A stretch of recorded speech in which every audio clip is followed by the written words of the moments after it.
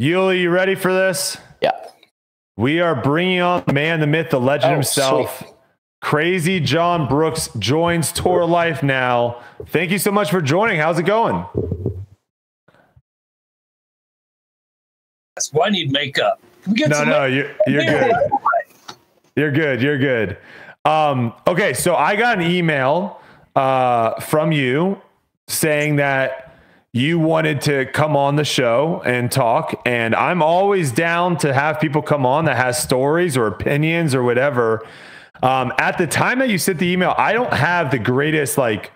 One thing that is super lacking in disc golf is just the history of it, right? Like, there's not it's not told all that often or when you're watching coverage or anything like that? Like that's how i kind of learn a lot of my stuff in other sports. I'm not really going back into the history bo- books and looking. It's more of what i consume now and is talked about now. And so i was unfamiliar with who you were but you sent a link and i'm wondering silas can you play this link real quick?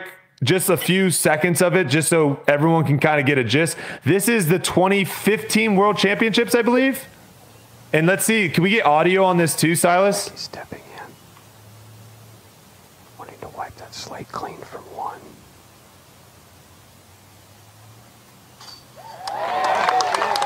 There's that form we've come to see so much of this season.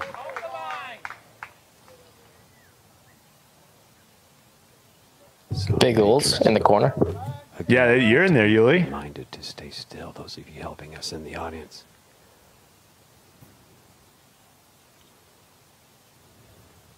Doss will have this left for par.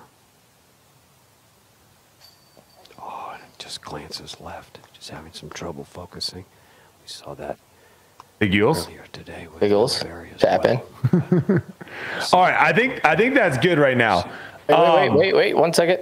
You oh you want to oh yeah he misses this too. yeah, yeah, yeah. That's one go. That's tough. Yeah, that is tough. He still beat me in the, in the Um, tournament. That's one go. Okay, Taking it I wanted people just to hear a little bit of that because when I watched that, I was like, this is what I've been saying disc golf needs for so long.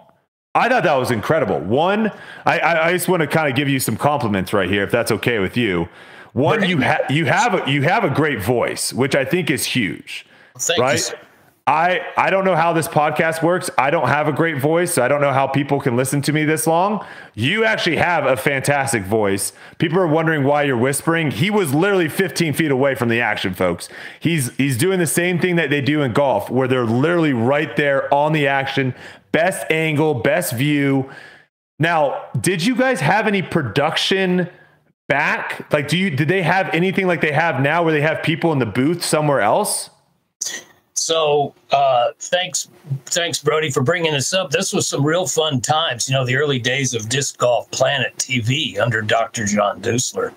Um, and and you're right, that was the old golf talk. You know, I've got my fact books and my cheat sheets covering up my microphone and, and my voice so I don't distract the players. And that's actually done a lot on PGA broadcasts, as Yeah. you probably know you know our our production package was pretty lightweight just because the budget wasn't there. So everything is connected to what the what the funding is all about. As you know it takes a village nowadays. So disc golf pro tour and disc golf network are operating with a huge surplus and bank of support whereas uh, in the, in these days with with Dr. John and with disc golf pro uh, disc golf planet uh, we did the best with what we had. It was about five or six people that used to do these entire shows. So that particular show, I remember in Portland, uh, we had John Dusler in Philadelphia calling the show. We had Pat Brogdon in Houston, Texas on the TriCaster switching the show. And we got Terry Roddy and Dustin Roddy on two different cameras, and then Crazy on a microphone doing a walk and talk for you know, for for the entire tournament for five days in a row. So were you the only one doing the commentary? There wasn't another person? At this particular event, yeah, we didn't have a back end like a booth like Dave Greenwell and Rebecca Duffy and I would do at Okay. the, uh, USDGC. So we'd have time to set up at the farm, you know, and of course Terry and John John Poole, you know, giving us anything he possibly could to support the project. So, uh, but yeah, you, you do the best with what you have, and that's kind of the fun the fun of it. And, Yeah. uh, but I appreciate those words uh, because it means a lot. You know, a player working into a commentary, that is pretty much a dream scenario. So I really enjoyed it while I while I did that. Love to do that again. Yeah. I've always said the way that they currently have the commentary is backwards. Um, you know, I always look at golf because we're playing the same exact sport. We just throw a frisbee into a basket, they hit a golf ball into a hole. We should be looking at what they do a lot of times to see, like, hey, th- can we implement this into disc golf? And the way that golf does it is the people on the ground do the commentary. They talk, they do all that, and they send it to the people in the booth who tell you the storylines and what's going on around, and they piece it all together. And they're like, all right, we're going to go to hole 17 now for Tiger Woods' second shot. And then it's boom, the person on the ground saying what's going on. But disc golf is backwards. You have everyone in the booth trying to do their best to be like, well, it looks like he's like gonna line up a forehand here. Uh, oh, he, their disc is in the air now and it lands. Oh, is that in bounds? Uh, uh, Nate Perkins, uh, can you see that? Is that in? It's backwards. It's it's complete, and I don't understand. Do you have any idea why it's backwards? Well, I mean, uh, backwards is, you know, to me, that's just a word. But we're, we're, we're looking at production. And by the way, I, I just, not to correct you, but I did not send an email. I believe you're thinking about Joey Boland, who's a, a dear friend here at Kansas Oh, City. send an email about you then. Um, that's from what I understand. Oh, okay. I, I stand correct. Yeah, I, I was I was sent the email from whoever he sent it to Foundation to me. So I, I apologize there. But yeah, no, someone I guess really wanted you on the show. And when I watched that Yeah. video, I was like, I got to get this guy on the show. Why is he not a part of disc golf right now? Well, thanks for that. Well, I, I live, eat, and drink and, and dream disc golf, so I think that counts a little bit. Well, I'm saying more on the Pro Tour side. Like, what happened? Like, how did you go from commentating a World Championship to 2015? And you know, not having, uh, I, I, just when I watched that, I was like, I want to hear more of this. Why am I not hearing more of this? Yeah, I, I appreciate those words, Brodie. I, I really do. Let me tell you a quick scenario that occurred so that it it didn't allow Disc Golf Planet TV to continue. It's a bit of a bittersweet story. I'll, I'll shorten it up for you, but uh, Dr. John Dusler Jr., who's the the masthead, the executive producer, executive director of Disc Golf Planet TV, um, developed the product so that we could send these events live. You know, we're live streaming. It's, it's not broadcasting; it's casting broadly. But what the original concept was is the players and people that fans that can't be there. You know, we've got to feed them. We need to get them something because disc golf is so bubbling hot, and it has been for a while. But the the mountain to climb was to how do we get these images and sounds and sights and emotions to the people that couldn't join. So, in a matter of days, maybe within two weeks' time, John Dusler, Dr. John, who works also with CBS Sports, CBS Golf, uh, through the connections with Terry Roddy, and they have developed a rapport with all of these um, networks and with Broadcast Sports uh, Incorporated. I believe it's BSI. Uh, they developed a relationship so that the secret, the secret weapon was being developed at this time at Disc Golf Planet, where John and Terry had. We picked up a an incredible genius uh, production assistant named Richard Dobson, Richie Dobson. He came on board and he committed himself to learning and designing and building and operating and training on drones, on a UAV. So hmm. Richie's just amazing. He went in and got his federal pilot's license. So in a matter of a year's time, after Richard Richie had been studying, John and Terry had been planning, networking.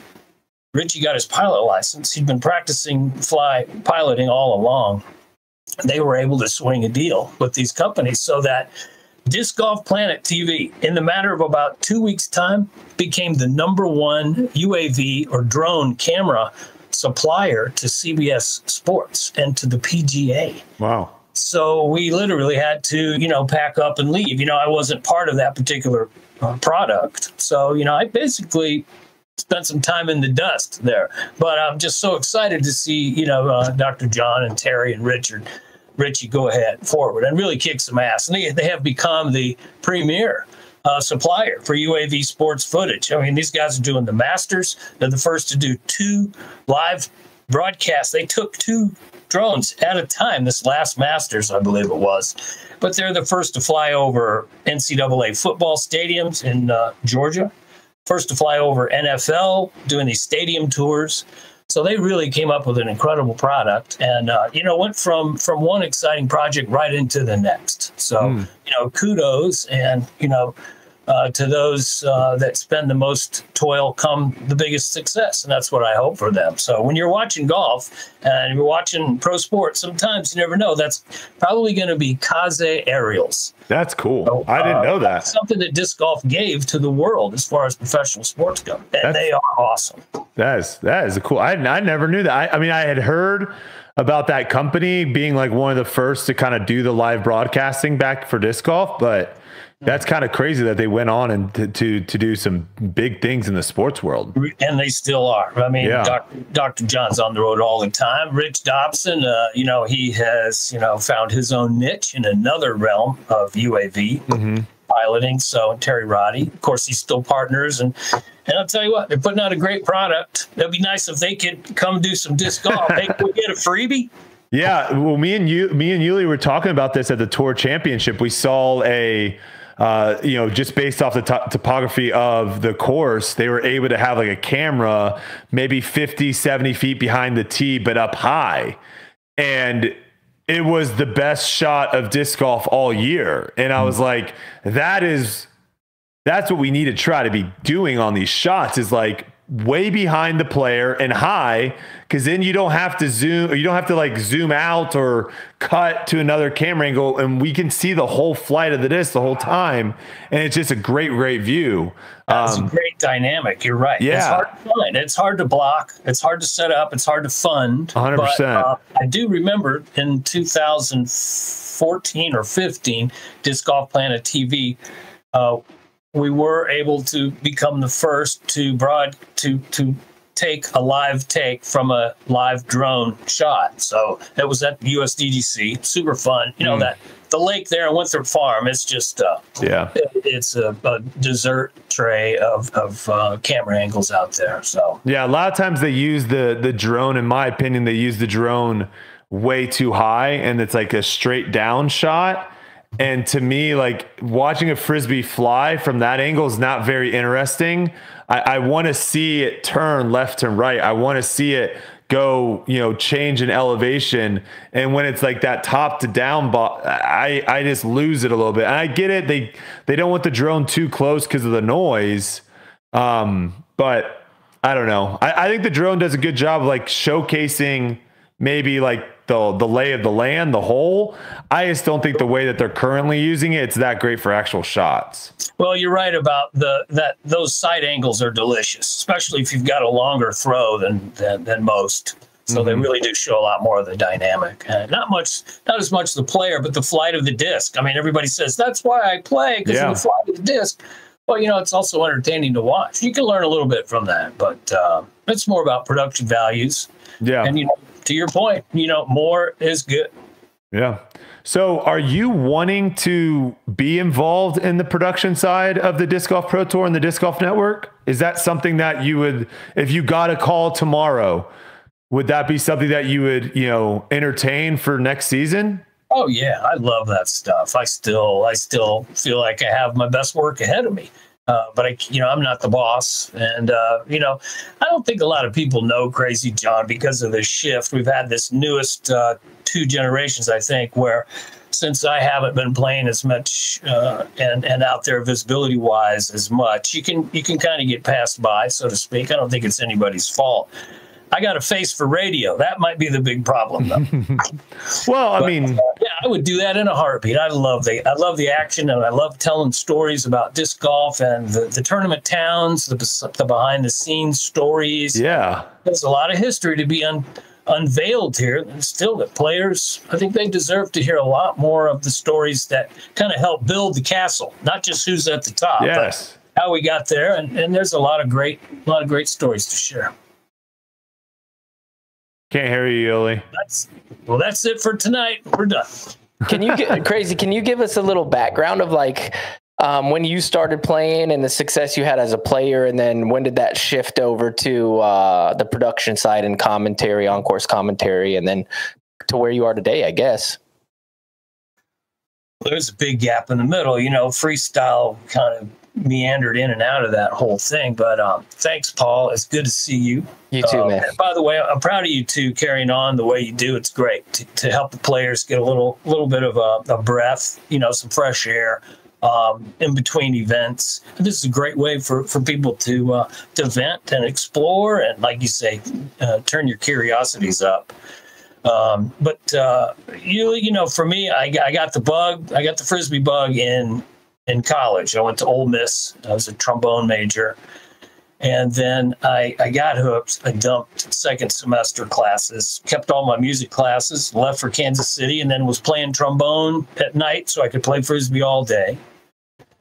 Um, thanks to like people like Stork and Jim Kenner and um, Al Kurz, um, uh, freestyle took a front seat. So I still had that overall mentality, and, I still appreciate that. You know, back th- back then we had seven, eight different events that we'd play at these larger tournaments. So it was pretty fun. Disc golf was more of the it was more of the vacation for me because I was so focused on freestyle and maybe distance. Uh, but it took a while to get very get very uh, proficient at, at golf, honestly, like I wanted to do. But um, in a, in a, there's really no connection. There is no straight line in my frisbee career at all. So most of my um, recognition came from freestyle, and that, that comes with a lot of appearances and what have you, and all the hoopla. So um, when disc golf started becoming, you know, my mainstay, um, gosh, you know, Bud Light helped that quite a bit.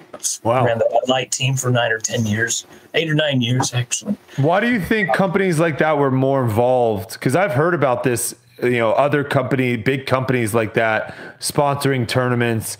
Why do why do you feel like that was happening, you know, years ago and not really happening now? Well, I mean, we had a solid product. We could go anywhere, anytime, right now, anywhere, get that frisbee flying, you know, and we would be right there at the front edge of whatever Anheuser-Busch wanted us to do, be it, you know, rock concerts or touring with Stevie Ray Vaughan, or we're playing LSU Tiger Stadium, or we're doing the Kingdom, or it doesn't, it, there was no limit. So, You're talking uh, freestyle. Yeah, is freestyle here with Bud with team, Budweiser. Okay. champion Bud Light Frisbee team, yeah. Oh, Bud Light. Okay. So, you know, we were able to take the frisbee front row, and that that's marketable. That's something that you know those kind of impressions are hard to find with disc golf. You have to bring a ton of people to you Yeah. to get disc golf those kind of numbers and viewership. And whereas uh, my goal was to take frisbee where it hasn't been before, and where it should be, and where it can go, where it has the most potential to blow the most minds. You know, that was the whole mentality behind that. And it's a promotion, let's face it. Trying to get people excited, have a beer, and, you know, maybe gain a little bit of loyalty in the end run. That's that's all it was. So uh, these people that I might mention this evening, you know, I, I'm a byproduct. I think um, I, I'm the luckiest person that I know, but uh, it's because of the, the the the help and the love and the guidance and mentoring from a lot of really amazing people. So I feel I'm still a kind of a byproduct of of y'all. Of anybody that loves frisbee, you know, you're my friend. That's something that uh, Dr. Jim Mason used to say, Ace Mason. You know, uh, if you play frisbee, you're my friend. So this all comes from from deep seated passion. Honestly, I know you guys know what I'm talking about. You know, you, you don't want to quit anything that you care about. Yep. Uh, but going back to your question, Paul, uh, moving in and out of freestyle, and that was paying the bills, and you don't stop that train. Well, once the Bud Light team took a bit of a, a hiatus um, after my coordinator changed in '89, and I chose to not renew my contract and specialize in in, in golf and stick with disc golf. So, in 1987, I was lucky enough to win the Japan Open, the first Japan Open, the, the Lark Japan Cup. So that just created a volcano for me. And I went back and started working full time. You know, I'd stay in Japan one month, two months, five months, six months, and we just do shows and tournaments and clinics and promotions. And I mean, every day, all day, all by ground miles and driving you know, and that that'll really strengthen the heart muscles, you know, when you do that. And um, uh, I'm so thankful for Japan too. They've done so much for me, and uh, you know, I, I really consider myself part of the Japanese family there. Some of my best friends are there, and uh, you know, when Japan started to started to, I would say, not really fade, but you know, the priorities changed the tournament, the Japan Open, just grew so fast after so much planning. This is so difficult to put on a major event in Japan. You've got 20 steps on that ladder. Where here in the States, you just need to know somebody with some cash and somebody that owns, uh, uh, you know, a, a, business, and you can put on an event. And in Japan, things are much more, um, you know, I would call it conventional and. Um, uh, methodical and there's a lot of protocol and a lot of tradition that needs to be maintained and upheld in Japan. And that's why the events there are so special, memorable, and uh, and and entailed. So I think it's just uh, Japan's way of wanting to do the very best at whatever it may be. And in this case, was pr- producing a large major disc golf tournament. So my my my attendance there kept growing and growing and growing. And then we got to a good spot. And then I, I, I my knees are what held me back. So I, I didn't really get, I didn't really make, make my way into Disc Golf Planet TV and the live commentary. I kind of ended up there because I couldn't walk the course. Hmm. So I, I, think my last event on those on the old knees was the uh, was the uh, Fountain Hills Thrills, at uh, in Arizona. So I did go out, you know, in that long run, like a 12 year hiatus I took, but I, I, did go out with a win, and that kept the heart warm. So I just I got my knees replaced uh, a while back, and been playing. Won the Japan Open last year, as a matter of fact. Okay. What about uh, any deep any deep runs at the World Championship? Real quick, Paulie, just to get to that introduction to Dr. John Dusler yeah. about the commentary. I just happened to be there one day. I went to see my crew after working um, in Los Angeles. Some of the crew lived in Phoenix, so I went out there. It's the same weekend as the memorial. And Dusler had everything set up, and I and he said, "Hey, why don't you grab a mic and let's see what you got." so it was that. I did some interviews, and then he asked me back the next year. Uh, wow. Terry Miller was there in the beginning with Dave Greenwell, and yep. then I believe it was Terry Miller moved on to uh, SmashBoxx, and then Dave and I stayed in the booth there for Disc Golf Planet. Wow. Thanks, Paul. Your question was you said something about the World Championships. Yeah, you. I, I distinctly remember seeing you in the World Championships. You've made a couple deep runs. Um, second place, am I right? I think there are couple seconds. I don't. Because um, you're being awfully modest about your disc golf career, being like, yeah, you know, I won the Japan Open once, and I'm like, I'm pretty sure this guy was like twice. Yeah, uh, I'm pretty sure you years apart. Whoa! Oh wow! Yeah, I was pretty sure that you like we're challenging Climo at a few tournaments. You know, that's like the Kansas City Wide Open, KCWO. We used to call that yeah. the Kenny Climo Wide Open. So I came, I came from that school. You know, I, I, got a lot of dust. I still have dust in my armpits from following Kenny. You know, so you know, um, a lot of a lot of my success was powered by the players that I wanted to achieve next to and to emulate. So Kenny is still he's still my favorite. Uh, I think him and Sam Ferrans and uh, uh, Jerry Garrett. Uh, you know, I, I've, I've, again I've been lucky enough to make friends with a lot of people and, and take a little bit of of each with me. But uh, in the world starting on, you know, Kenny's first win was in 1990 at uh, Phoenix, and the final course was Vista del Camino. And I was, uh, I think, I was just a couple behind him to start that final. So we had traded off the lead, I think, six times. If you go back and look at that, we traded off. We used to play. Uh, used to play uh, eight rounds, a cut, and then a semi, and then a final. So ten Jeez. rounds in five days. And uh, but Kenny and I had a lot of fun. I, I, you know, hats off to him for for you know that's not an easy job to be Kenny. So saying he is the real deal. Uh, so you know, he was part of my rocket fuel, and uh, but yeah, we did well. I think I I think I came out with. I made the final six of my eight years playing in the world championship. There you go. Wow. There he is. See, this guy's the real deal. Jeez. yeah. Gosh, Um, wh- but I where went from second to fourth in that final in uh, Arizona. by the way. Okay. where do you how do you feel about the landscape of disc golf currently? Like the Pro Tour, um, we're talking mostly just the Pro Tour and uh, you know DGN with the subscription model, the majors.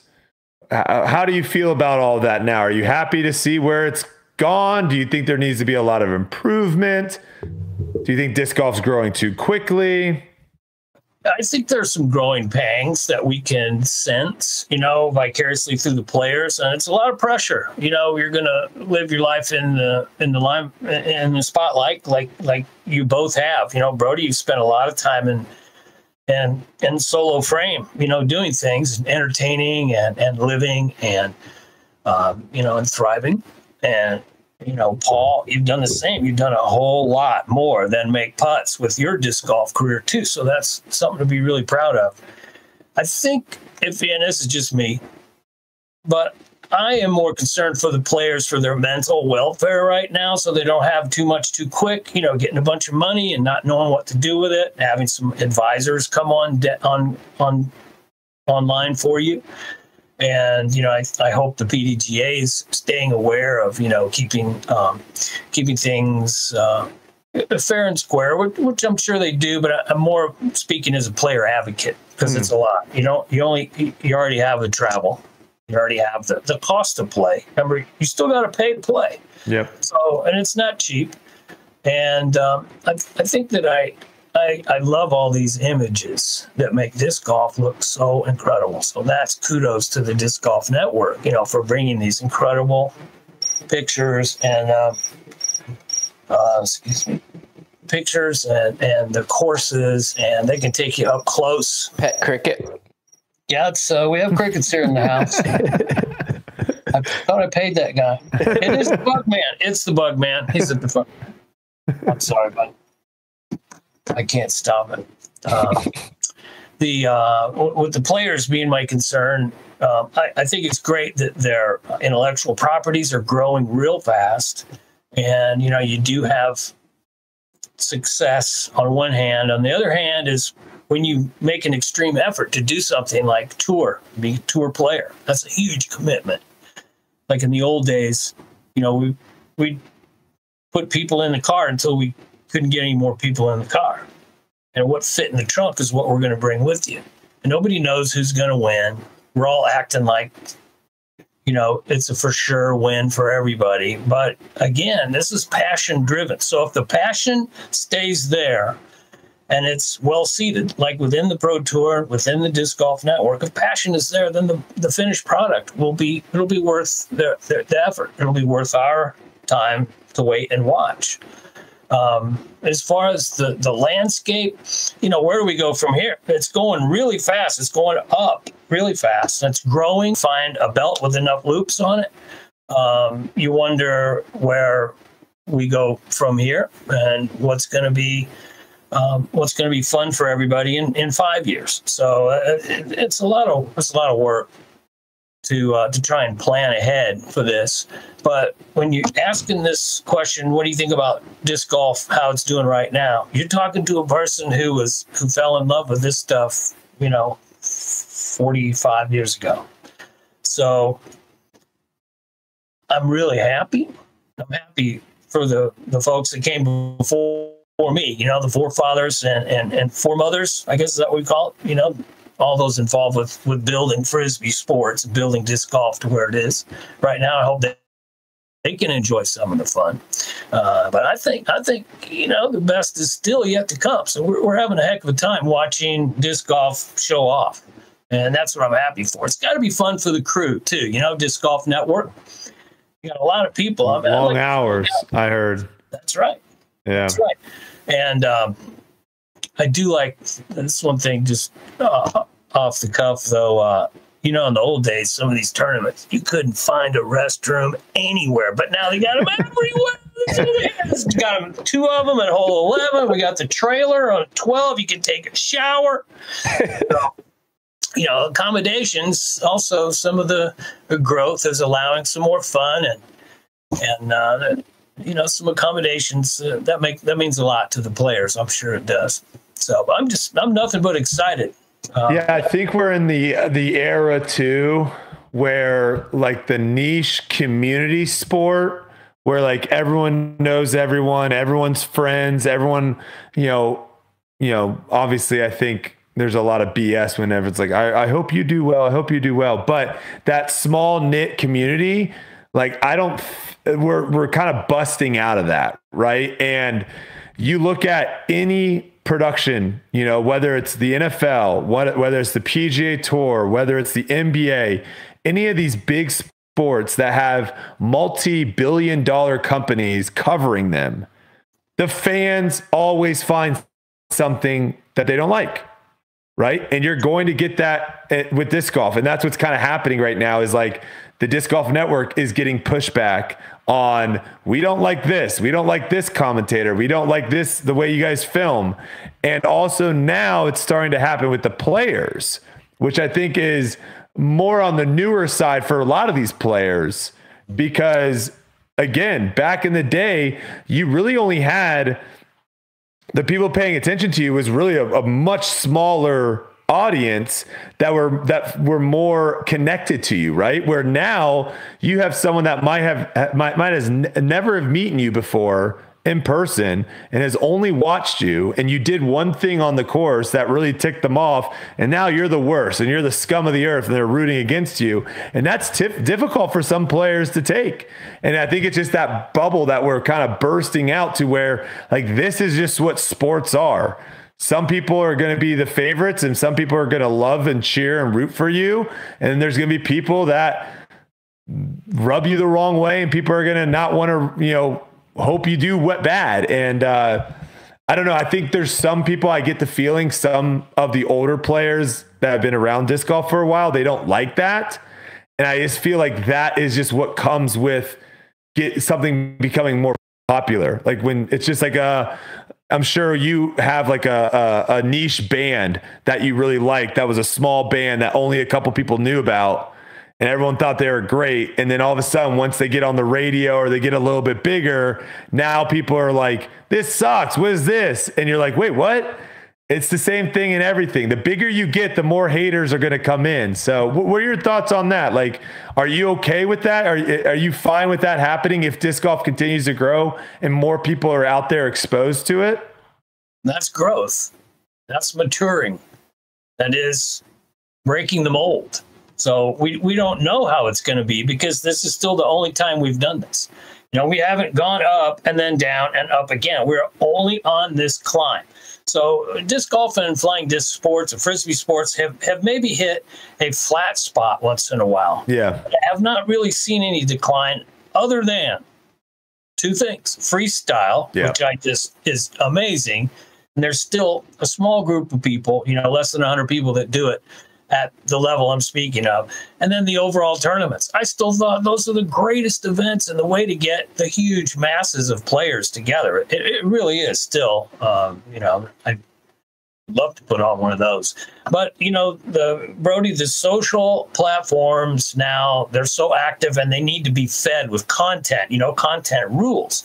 So I think it's it's delicate balance, you know, what is growth and what is just haters because the haters that's all they know how to do really and sometimes they, you know they might cloak themselves during the day but boy when they get home they can take that off yeah. and go in on the keypad and just bring hell on people and you know we can't really defend against that we can only give it the best that we have and you know if you're thinking with your heart and the right part of your brain, you're going to bring good no matter what direction you're looking towards.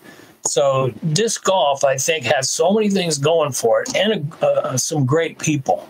So I'm still in awe of the players and the results that they're getting and the physical commitments that they're making. There's, there, I know it's just a small group, small percentage of the overall population of professionals that are getting these awesome results and rewards. But I hope that number grows. Yeah. And I'm so thankful to see, you know, like equal pay. I love that. I'm a big, big uh, fan of Billie Jean King's, uh, you know, mantra of equal pay, and and it works, and that belongs in pro sports. So I'm proud of disc golf. I'm proud of disc golf pro tour and bringing that forward. And uh, and if the PDGA had part of something to do with that, you know, kudos to them. That's a great thing. You know, I think we can't really be too picky because we're we're looking pretty good right now. I, I, I would like to. I feel like there could be some more outside the niche sponsors, hmm. some more corporate entities that might want to join on. But until we get that final product that goes on air in a certain level of perfection, I don't know. I think we'll have to wait a little bit longer for that. But that's something that I personally care about is, is bringing some of that out of market dollar towards pro disc golf, and um, and, and that that's that's a production value that that hopefully will get addressed too because it's there. You know, you got to have a salesman. Yeah. Um, but it's what you're selling is the most important part of the conversation. Where do you stand on the uh, the PDGA? Well, I'm I'm one that has I've experienced a bunch of um, support and um, you know understanding. And you know i worked with them for a long time with their events crew and brian graham was very very helpful in me and and my career too. Um, and um, so the PDJ has a tough job. That's a big ship you know and you can't turn a big ship too fast either way. And you got to it's got to go from the captain down to the first mate, the XO, and then the nav person. So it's a it's a big machine now. I I hope that it can stay focused on the players' benefits as well as the sports outlook, and um, and I think that the PDGA has done well to stay. Um, to keep their hands on the steering wheel of this thing because it can get out of it can get out of hand do you, you think know, though there? Do you think? Do you think that's a negative though of where they are trying to stay in power? They are trying to like keep their stamp of approval on everything. Because I, I think that's a great analogy of like they're trying to keep right now their hands on the steering wheel because like you said like a lot of stuff is happening a lot of stuff is changing and I, I, feel like sometimes the pro tour feels handcuffed tournaments feel handcuffed. Uh, certain things just feel like we have to go through the PDGA or the PGA has to do it. And, you know, you look at the USDGC, which the PDGA has no involvement in at, at all. And I think that tournament's run better than any tournament we play all year. Well, it's and a private event. That's the bonus of being a private inv- event and a private intellectual property. So it's developed from the seed. And the PDGA has been morphing to sometimes, you know, even keep up with the sport. Mm-hmm. I mean, um, I think that their concerns are aimed well. And I think this is again, this hasn't been done before. So I think that they're they're learning on the job. And I know that they're concerned. You know, they have to be because you know that's um, you know, there's a profit margin here that has to be maintained too. You can't keep everybody happy, but you you can focus on keeping the right people happy. You know, I would I would look forward to finding out that the PDGA and Disc Golf Pro Tour had a really open, close, conversive, functional, flexible relationship with each other so that they can create a win-win rather than a um, meet once a year and discuss what happened. You know, I like for them to be, you know, up to date and in force and in effect mm-hmm. on all projects. I mean, the PDJ is there to help us with, um, you know, accreditation, and they're here with regulation, rules, rules enforcement, um, codes, protocols. You know, you have to have that. In a party this big, you got to have somebody that owns the house, so to speak, and then you got to have somebody that, um, you know, that that takes care of the house. So I, I don't know if anybody has one particular role, but it would be great that we could get the PDGA and Disc Golf Pro Tour to work as much as possible, hand in hand, Mm-hmm. with the same goals in mind, with the players at the top of the list, and to not just get money into the players' hands, but get riches into the pages of the disc golf history book. We have to keep making history, but making good history, that's a great way to focus, you know, um, all together, you know, all for one, one for all. Yeah. No, for In a perfect world. Yeah, no, ideally. It'll, it'll be interesting to kind of see how it goes because I, I have just, you know, I've disagreed with some of the, the decisions they've made um, over the couple last years. And there's a couple things that I feel like they've dropped the ball and didn't really handle, um, didn't they handle the situation a way that you'd want the governing body of the sport to handle it. But like you said, it's growing pains. They're learning. Hopefully things get better. Um, there are just a lot of things right now that if we're looking at the Pro Tour as a product, which we should, I think there's a lot of things the PDGA should be doing to make the product better, and they're just not. And that's where it's like, I think if they weren't involved as much, I think the Disc Golf Pro Tour could just do it themselves and not have to hope the PDGA does it. Um, so that's where I, I think it's a little the, the power structure. I think the power structure should be more on the Disc Golf Pro Tour, and then they just use the rules that the PDGA, you know, has across their events, but the disc golf pro tour can kind of do their own thing. And I don't know, Yuli, what do you think? Like sometimes it just feels like that's it just feels like there's certain things where you're just like, why is this not happening? And it's like the PDGA is kind of always the one that's getting their fingers pointed, which I don't know, maybe it's maybe it's not fair to point your fingers at them all the time, but that's what it seems like it's happening. No, I, d- I definitely feel like they should be two separate things.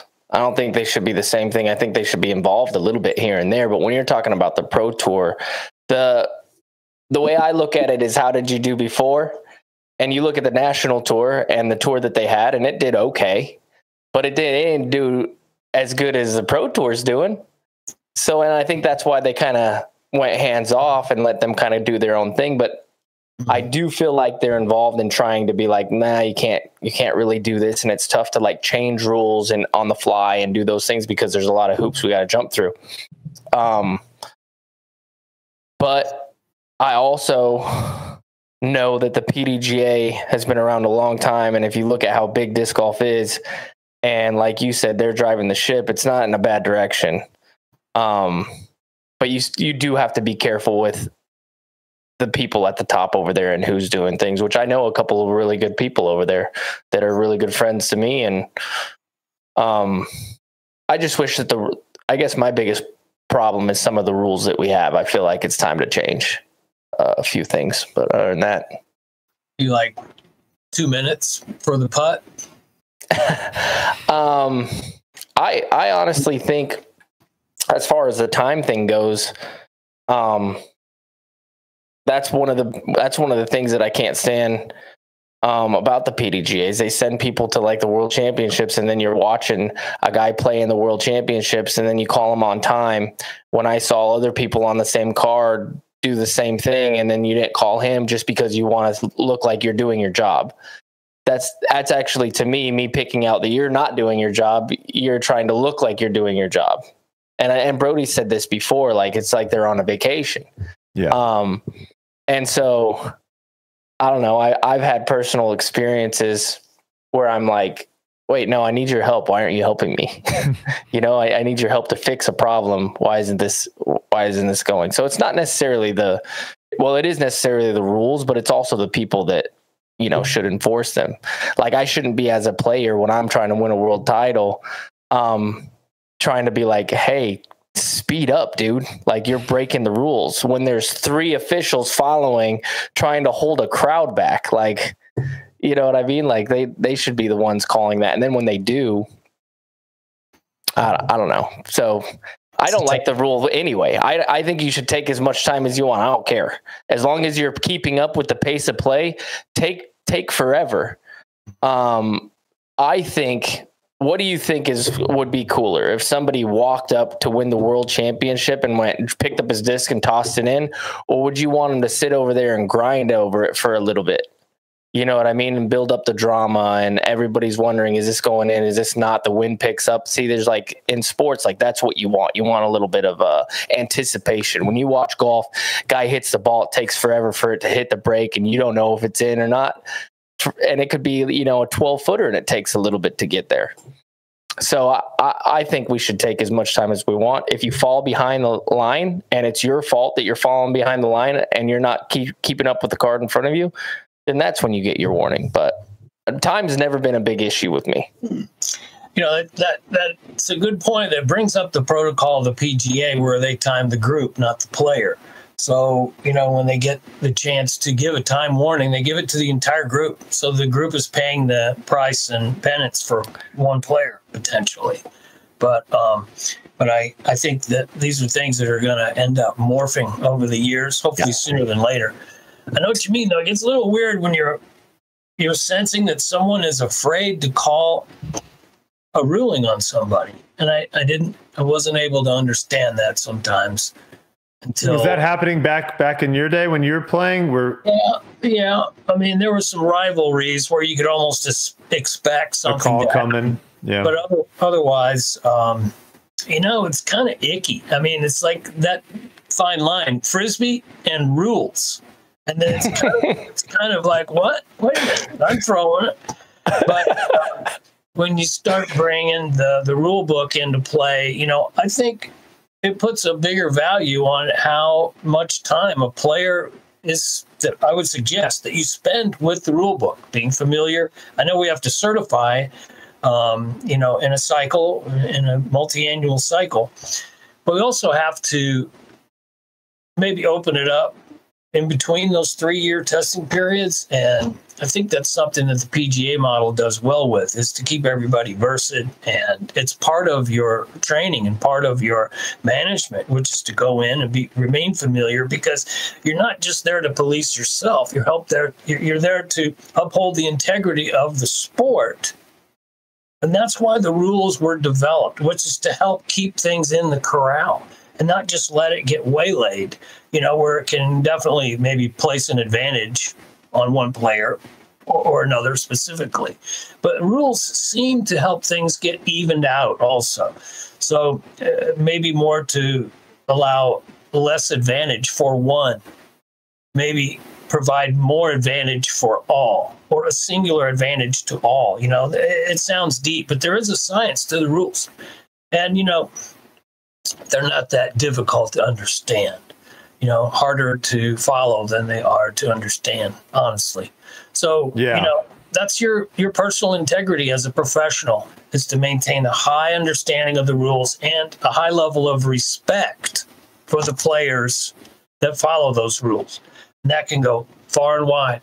You know, a lot of players like Kenny uh, and you know a handful of others that I know are just really respectful to the rules because of their background. You know, Kenny's an amazing ball golf player, and that's where I'm sure a lot of his passion and drive and and um, knowledge has come from by growing up with the game. A lot of players have grown up with disc golf as their activity. Excuse me, uh, uh these last say 20 years, disc golf has been a lot more prevalent than before used to be saying disc golf. You almost had to say, you know, frisbee golf. Yeah.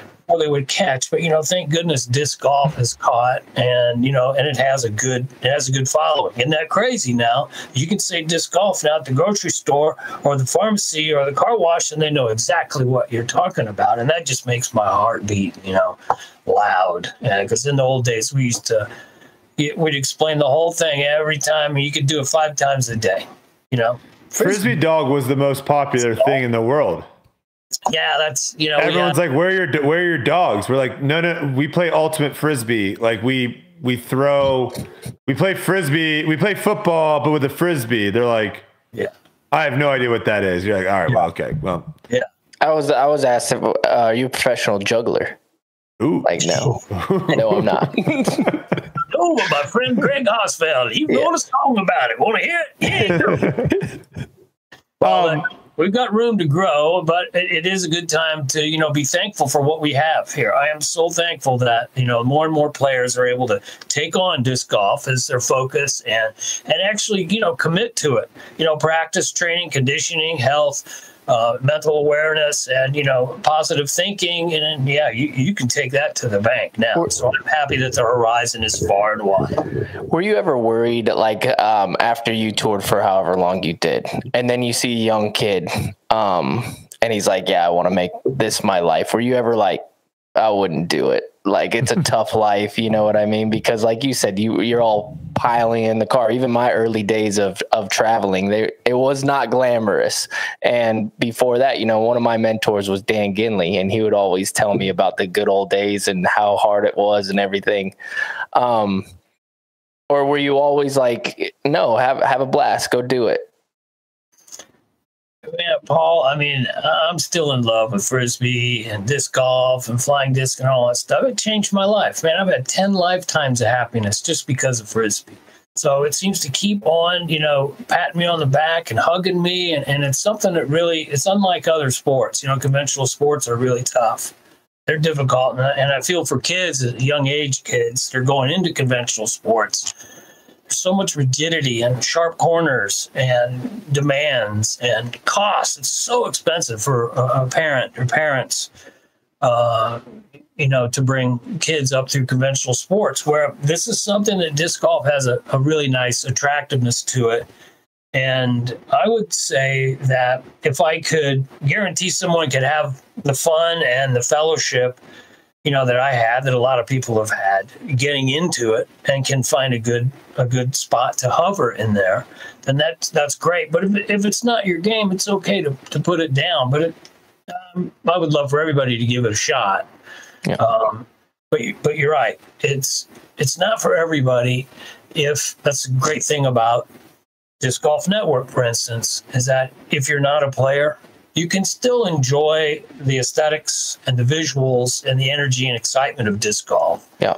Um, you know, we're getting closer and closer to this, you know, product where it it, it, it will catch soon. You know, everything um, that was created with love will continue to do that if it's given that. That's what it needs to survive is more love. So we got to keep the faith and, you know, uh, count our blessings and be thankful. You know, we have what we have and keep keep working hard, keep protecting our sport. You know, we want to promote it as if it's our very own because we're still a small group comparatively. Yeah, small group are doing a whole lot for a lot of people. So kudos, you know who you are out there too, and you guys are helping that same energy.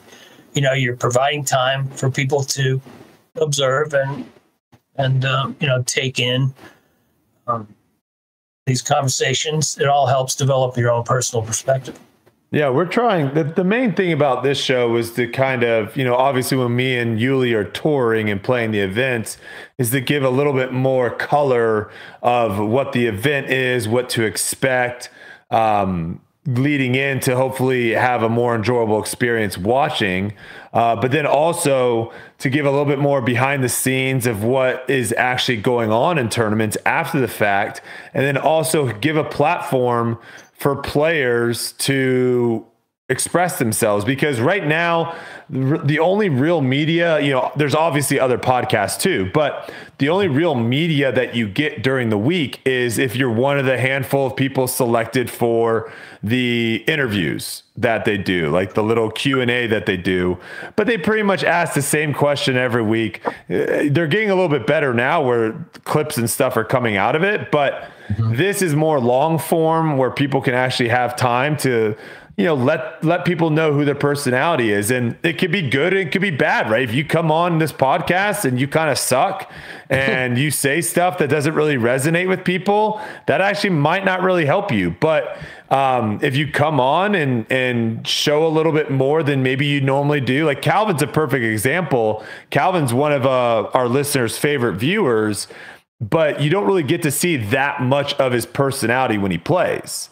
you know but when he comes on here he kind of lets down you know jokes around a little bit with us and you know he does that in other youtube videos and social media as well but um, yeah, I think it's just one of those things that comes with the territory. The more media that starts building around disc golf, uh, the better. But again, at the end of the day, there's only so many people that are willing to do like passion projects, right?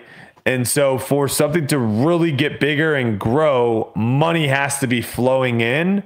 And what you were saying is exactly right.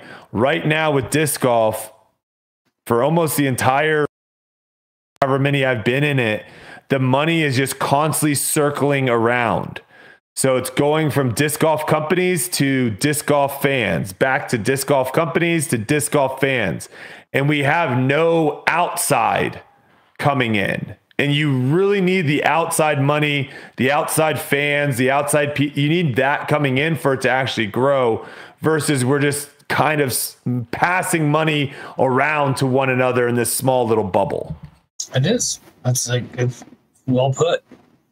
You know, so, the the money that we're talking about. Let's just let's kind of set up a scenario where Disc Golf Network could develop a team, for instance, just for content, uh, off course content. Uh, you know, this is a regular practice on a lot of different projects, but I mean, these guys have got so much going on like I said, it takes a village, but I would love for them to find the time and the wherewithal to enjoy bringing on some producers that can bring this content forward. And I know I'm not not the boss, you know, I'm just bossy, but I care. I want the best possible yeah. for disc golf. Um, you know, I have put quite a bit of work into at least trying to explain this, you know. Um, on the air, like back in Disc Golf Planet TV days, you know, because I'm I'm fairly frank with people, and and I want people to to to know that, you know, this is just me. This is just my humble opinion and my take on things. Um, uh, being in that position is a real honor, and it comes with quite a bit of um, expectation. So I, I, can only hope that what we did before went. Uh, went in good directions and left people with a good um, idea, left them with a good impression. And then, um, you know, Disc Golf Network 2 is going to keep growing. They're going to keep acquiring more assets in both human and technical assets. And they're going to make sense out of it. And it's only going to get better. That is my that's my take on that. I mean, they've got too many good things going for them, and and I want them to to endure a huge success because that means disc golf is going to win also. And the Pro Tour, like you said, Brodie that's another thing. It's a massive machine. There's so many moving parts, and you got to mm-hmm. remember it takes a human to move these parts. There's nothing that the computer does other than what the human tells it to do. Okay, so don't forget and it, it's um, it's a remarkable effort, and I'm so happy that disc golf has has a group and groups that care about it enough to to invest and commit to it like that. It's getting me excited now. I kind of want to.